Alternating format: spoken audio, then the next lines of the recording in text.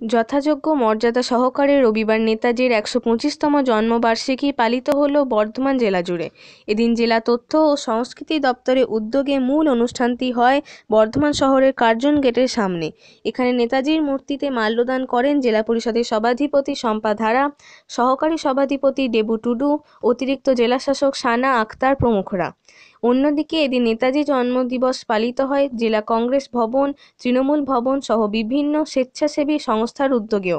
শক্তিগড় যুবগোষ্ঠী, নান্দুরের Debshishu welfare society সহ গোটা জেলা জুড়ে বর্ণাঢ্য শোভাযাত্রা, সাংস্কৃতিক অনুষ্ঠান সহ নেতাজির জীবনী সম্পর্কে আলোচনা করা হয়।